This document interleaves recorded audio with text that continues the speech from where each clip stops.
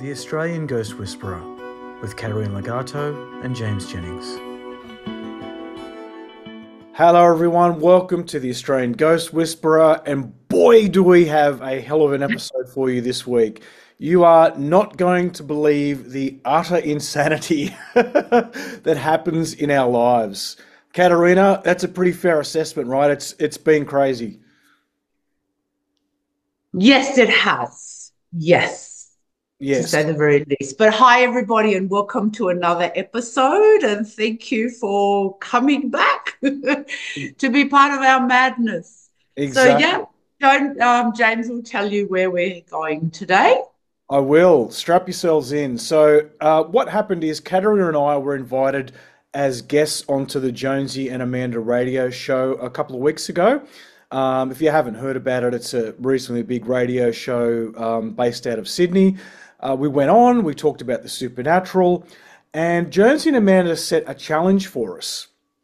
So, Caterina, as you are probably aware, can remotely clear buildings or homes from spirits.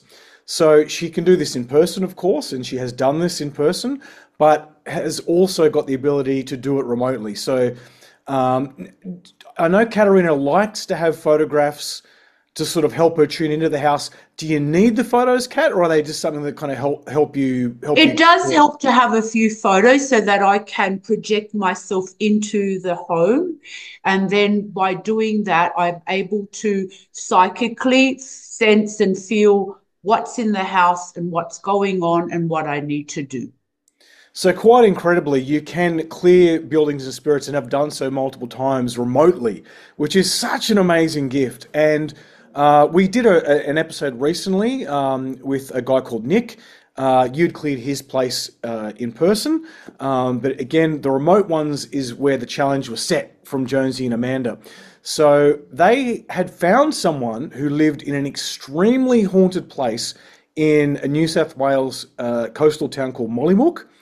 And they essentially gave the details of this house and that person to Caterina. And Caterina, do you want to tell us a bit about what you knew about the house and the people beforehand. What did they tell you was going on at the house? Very little, nothing.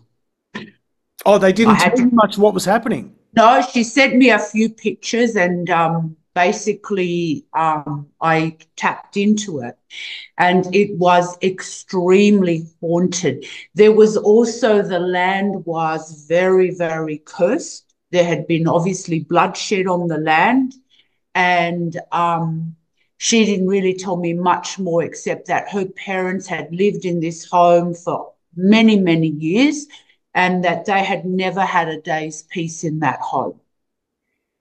And I believe that she told me very little, perhaps because this, the radio station had set it up to challenge me.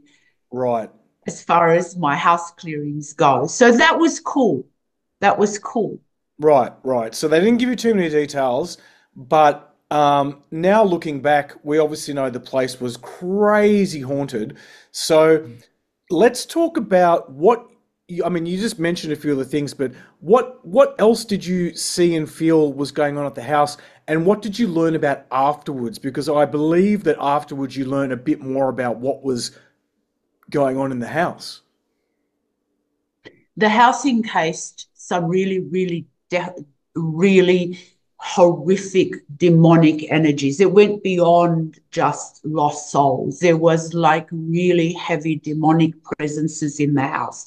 And when I psychically went in there, I had to get out because it's like, oh my God. And I had to up my protection. Went back in there and I still feel cold talking about it because it was so heavy. And then I could feel this creature like, like a creature. And I don't I really mean a creature outside. And it was almost like this creature was making sure that those demons remained inside of the house. And the creature was almost holding, protecting if that's a word for a dark entity, protecting the house that no, there could no, nothing from God, nothing from the light could enter. So it was he was a doorkeeper, if you like. Sure. And he he growled at me. He was like, okay. And I'm giving you a very watered down version of how he growled at me. Yeah. It was so bad that again I had to get out. And I thought, okay. So then I really got myself ready the day that I decided I was going to clear it. And I obviously, thank God, have a an amazing, you know, spiritual team to help me. So I went in there and I began, you know, obviously bringing in um, a sacred fire like a tornado sp- spun around the house. And there was screeching in the background, screeching and screaming. Then um, I had spirit holding that creature that was outside, like holding it still because it began growling at me. It was trying to penetrate the sacred space that I had created around myself to go in there and not be attacked, although I did get attacked a few times. Anyway, so I did that and I did other things that um that I do when I go into those spaces and and when I finally brought it all out, when the kind of everything between the light and the sacred fire had kind of destroyed everything, this like a black smoke, and it came into my home that I was doing it from my home that day. I was in that work. And um, this black smoke, it was like it had to have its last day, came in towards me, and I had to like come back out of that house psychically and deal with this energy that was trying to come towards me. So it was really what a freaking challenge, like honestly. Mm. So then that was done, and then the creature outside. That creature outside. Well, I had to call upon all the forces of God and all the sacred angels and upon Yeshua to deal with that creature outside. And when it left, the screaming psychically pierced my ears. I was like, I felt like it had some sort of a like a um, like a fork. You know those forks that you kind of use in your gardening, those big yeah. fork things. That's what it wanted to throw this psychic fork into my heart. Oh, okay. Yeah. So anyway, so that was that session, and I was smashed. I was bloody gone from that. So I felt like everything was good there. So then the next morning on the Thursday, I actually was at work. I went in earlier and I just wanted to bring in lots of light and healing energy into the home, around the land, and around the, the parents that were living there. Mm-hmm. Mm. So that they could feel some sort of like I felt like they just needed to be refueled with some light. I honestly don't know how they lived there under those circumstances, but apparently the neighbor is experiencing the same things. So the the the the, the Bernadette has said um, in her message, which I'll read to you soon and explain a little that you know she was going to pass on my details to the neighbors because they need to clear so i feel like there's something going on there probably i think there's a few houses with this energy going on there right right okay so w- once you sort of went in there and saw what was going on excuse me and you had some contact with bernadette whose parents own the place did she what first of all, what did she tell you about how it had changed the place after you'd cleared it? But also, did she admit to lots of paranormal things happening in the house once she could actually tell you and not keep any secrets anymore? Well, yeah, yeah. Basically, we didn't even. Re- I don't know if we even spoke. I think we spoke on the phone, like I said, the first time, and she just said, "I just asked her. I said, please send me the photos," and you know, she had just all she said to me was that her parents had been in this home for for a long, long time, but didn't go into any details because obviously maybe that's what the radio station told her. Mm. But when I finally finished the work, I sent her a message to ask how it was all going and how it was feeling. And if you like, I'll read the message yes, please. to yeah. everybody from her. Yes, please. So I basically started by asking her how everything. So she said, I did speak because Bernadette doesn't live at home with her parents. She's married with her own. So she was like the mediator between myself and her parents. And Sure. she said, I did speak to my parents, and they said a few weird things happened on the Wednesday afternoon, early evening. Doors being slammed, sounds like something was being dropped, but they couldn't find anything out of place. But that was when I was working in the house, and I reckon they were slamming the cupboards. That was the Wednesday that I was doing that work. But they were obviously going crazy in the house. Mm.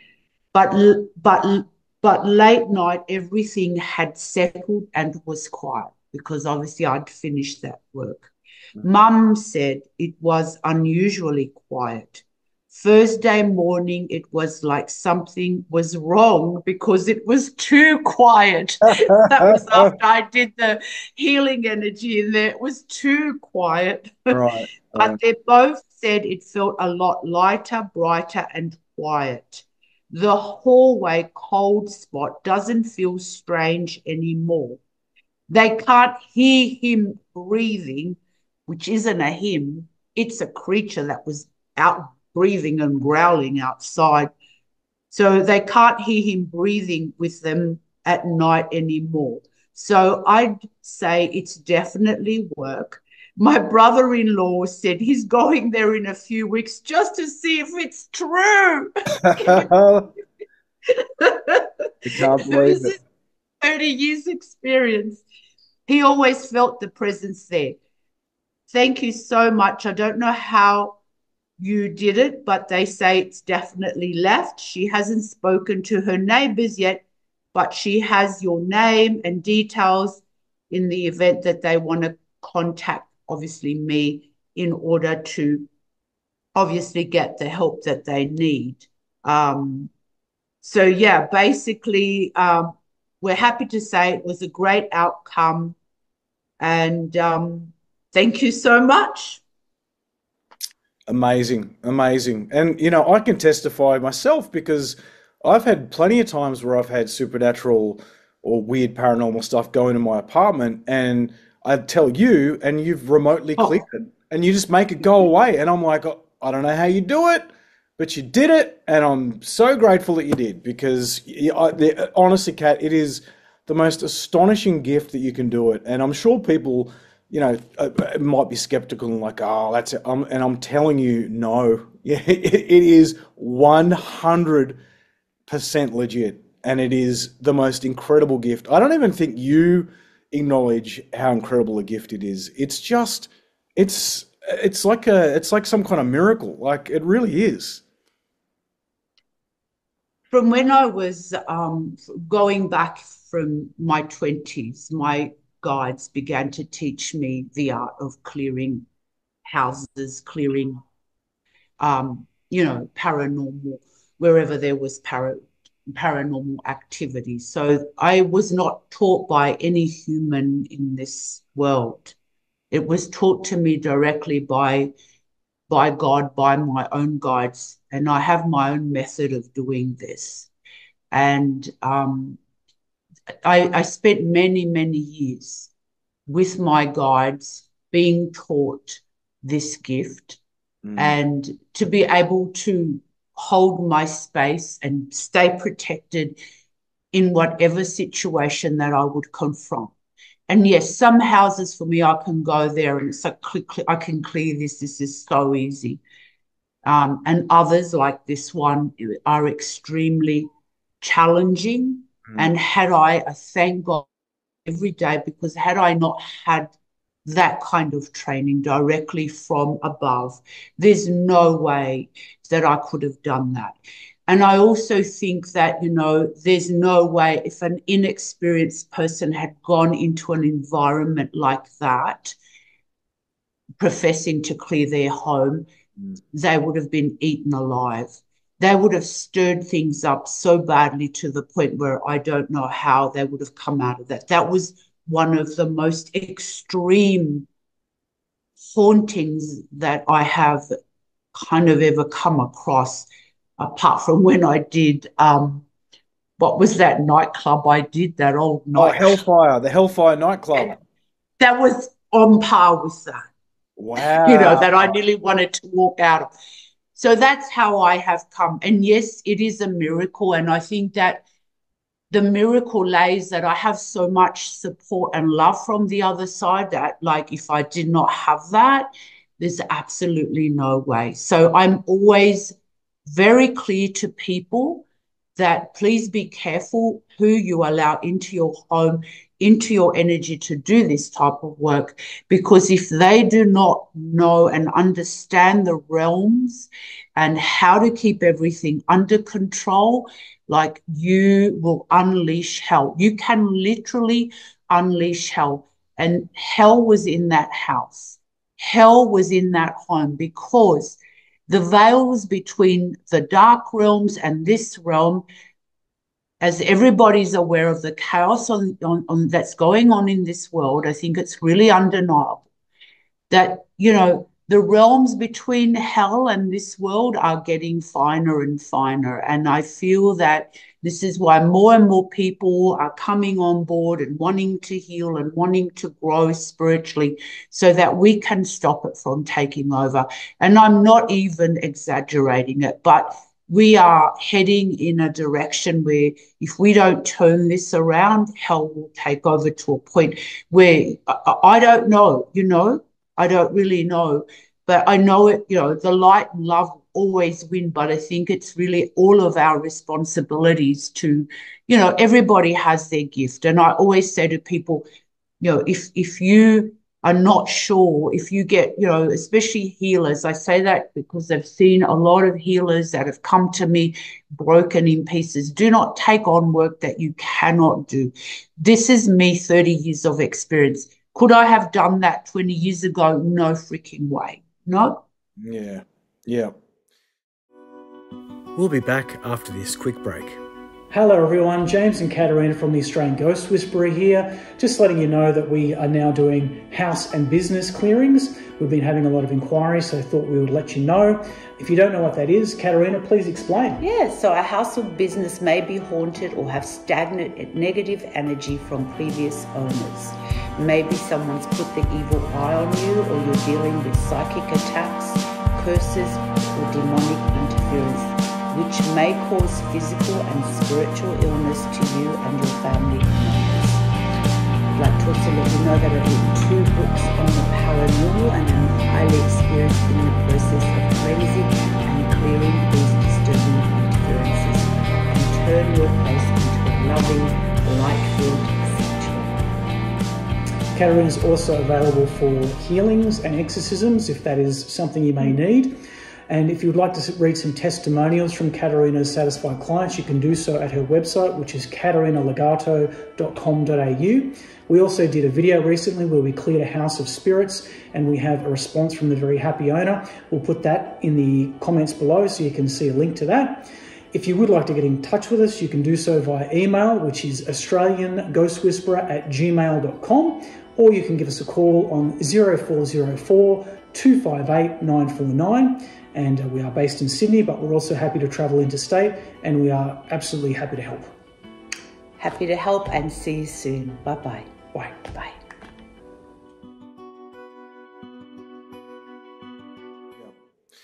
And um, even though that sounds like that's the end of the story, it's not.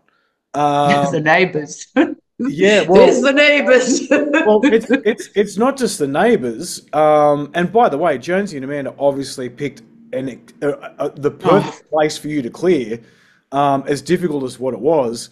yeah. But it's not the end of the story in that, Kat, you felt attacked and went through some drama after you cleared this place. So, are you happy to Yeah. talk about about that? Yeah, I've been very attacked since that day for stepping on the grounds of that creature who was a, like I said, a, a, keeper of the dark side. You know, so there are keepers, watchers of the dark side on this earth. And I don't want to say terrify people, but I really stepped on his territory. And I was viciously attacked afterwards by obviously not that creature, but other creatures that are around. So, um, you know, I was kind of um, in a bad way for a while amongst other things. So I um, I can't go into a lot of details, but then a few days after that, I, I had to do a healing for somebody, and I discovered something that I can't talk about. Um, and the dark side did not like that, and so they attacked me again. Right. So I've been under an incredible psychic attack to the point that I ended up in hospital, to the point where I needed my Patreon team to send me healing so I could pick up. And I have been really and truly, I was a mess because when you step on their territory, and I guess I didn't, I don't know, maybe didn't realize what I was stepping into, and not just this home, and that creature, that doorkeeper, but um, the other job that I did, that I discovered something that they don't want. They don't want people rising up and learning, and they don't. They, like I said, there is a battle on this earth, and I'm telling you, there's a battle of light and darkness on this. Earth. And I, it's you know, and I'm just starting to come good from all of this. Mm. What's it been, James? Uh, a, week a week or so. Like you were, yeah, Yeah. look, honestly, you were, you were a in mess really bad shape. Like I was incredibly worried so about. bad yeah i thought i was I, they tried to kill me basically they tried to take me out i ended up in hospital with a heart rate of almost 150 and i don't have any heart conditions they were preparing to resuscitate me i was going to go into cardiac arrest and um, all in all, you know, I think I was just laying there going, okay, so if I'm going to die now, I need to just focus on God. And I was just focusing on God so much. And I did have help. I had called Julie to say, look, I'm going to hospital. Um, please send me light. So no, she was working on me. Um, and I was calling on God, and they were about to inject me with God, I don't know, whatever, to bring my heart rate down. And then all of a sudden, it just dropped boom, like this back to normal. And the doctors are like, stop, stop, we don't need to do anything else. So I spent, you know, uh, quite a few hours in hospital, and um, they they looked at me like they were, they didn't know what to say. Really, they were kind of a bit confused. Hmm. And so um, then I went home, and I got to say, you know, the the the, the, the attacks continued, and they they were not they were definitely otherworldly attacks. And yeah, you might say where were my guides? I think I was just so low and wasted, but yeah, I think my guides and God were there because I was going to die in that hospital. Yeah, That was meant to take me out yeah, because I stepped on Stu. So mm-mm, the house, yeah, that creature, yeah, but then I stepped into something that I discovered that they didn't like. okay, okay. Well, you've certainly, uh, um, again, compared to last week, you've really rega- regained your, your strength and power, and you're back in touch with your guys. Yeah, yeah, I'm not a hundred percent Yeah. there. Yeah. Thank you, and thanks to my Patreon members who James kindly held an emergency meeting, and and that really helped me. And um, yeah, it's um, yeah, like I said, I think the battle is becoming um very very intense. Of the light and the darkness is a clash, and we can see it with everything that's going on in the world. Yeah. Yeah. And I just say that if you are a light worker, that you look after yourself, don't run yourself, you know, into a hole. And I feel that part of why I got so viciously attacked was because I was so tired and um, overworking because so many people demanding so much of my time and healings and this and that. And so, you know, me and my big heart, yeah, okay, okay, okay. And I think that had I not been so tired, I would have perhaps been able to deal with it differently. So I feel like this was another lesson of my guides had to step back and go, okay, Kat, you're not listening to us, that you're overworking yourself. So therefore, we're going to just let you fall a bit and learn your lessons. So, yes, I am going to cut back and I'm going to be training, uh, you know, um, some some good healers to come in, step in and help because I can't take all of this on on my own. It's just getting too much. Yeah, and that's my plan for the future. I remember um, this happening to me in my 20s where I was viciously attacked. And I came back and said to my guides, How dare you let this happen to me? You let them attack me. And they said, Well, you know, you hadn't really been protecting yourself too well and you want to learn to do this stuff. And so there you go. That's how, you know, I think I'm a bit stubborn and they just go, okay, well, let's let her fall because that's the only way she listens. But um, yeah, I'm I'm training a few people at the moment who are very good. And so I'm just, you know, asking for people to be patient and to realize that um, yeah, I'm quite not ready to die or leave this planet yet, as I have things that to achieve of my own. Yeah, yeah. And what's incredible, Kat, is even after all you've been through, um, you, you're still not going to give away the remote clearings. Like you're still you're still going to do it. Yeah, look, I'm still happy to go to house clearings. I love it. Yeah, whether I go, I'm still happy to keep doing the house clearings and go to people's home or do them remotely. Look, I'm not, God, I'm not resigning or retiring. No, but I am going to, you know, maybe start being a little bit more true. I don't know, just more careful of who I'm going to, you know, take and, and narrowing down appointments and keeping things a little bit more balanced in my own life rather than just always working, working, helping people and not, you know, to the point where I'm not helping myself enough. And this was the lesson in all of this. Mm, mm. Yeah.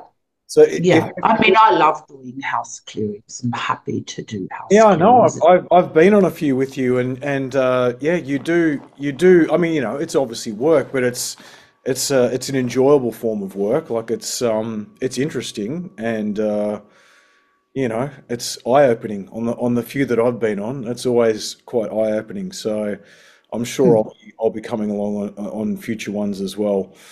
Um, yeah, but so if, if people are watching or listening and they are interested in getting a, a clearing, whether it's in person or remotely, is that okay? Can can we sort of like Yeah, of course. Yeah, yeah. Of course. Yes, of course. I'm just saying that, you know, you know, I can't be put under this pressure of please, my life is falling apart, come in one week. Yeah, I just need people to be a little bit more patient because people get on the phone and they're crying and they're begging and then I feel sorry and then this is what happens. I was so run down, I was so tired and I embarked on some big jobs that, you know, caused me, you know, a lot of grief. Yeah. Yeah. Well, that's just, yeah, all about looking after yourself while, while you do your work. Yeah. Yeah, so look, if people can uh, contact us at Australian Ghost Whisperer at gmail.com. Uh, we're also on social media. It's not hard to find an email address or what have you to contact us. So if you do have some clearing work, um, yeah, cats, cats, cats about. She can't be doing you know one every single day of the week, but uh, I'm sure that with uh, some jobs uh, we, we, we can take on. So. Um, yeah, happy for me to put that out there for you, Kat. Thank you. Yeah, yeah. No, it's wonderful. I mean, yeah, I love doing what I'm doing, but I'm also feeling like I want to ask people to pray more, um, meditate more, you know, be in your hearts. It's such an important time. Um, we are at, humanity is truly at a turning point, and we need to hold light, be, be more godlike, and hold the light frequency, the love frequency on this earth because, um, you know, we don't want what they're planning to unleash on this planet to be unleashed. Mm. And that's pretty much all I can say. Well, thank you for being uh, so frank with us as you always are, Kat. And um, that seems like it might be a good place to wrap it up, unless you have anything else you want to add. No, no. So, no, I'm all good. Okay, wonderful. Well, everyone, thank you for watching and listening. Please remember to subscribe, like, comment, share, all those good things that help us get seen and um, and uh, keep things ticking along for us. So thank you. We appreciate you, and we'll no doubt see you next time. Caterina, thank you so much. Thank you, James, and thank you, everybody. And please share our message, subscribe, you know, share our videos. And I'm sending lots of love out, and I hope you're sending the love out to this world also because it needs it. Absolutely. All right. Catch you next time, everyone. Bye. To gain access to private spiritual development classes, guided meditations, and live Q&As with Caterina, please visit www.patreon, that's P-A-T-R-E-O-N dot com forward slash the Australian Ghost Whisperer.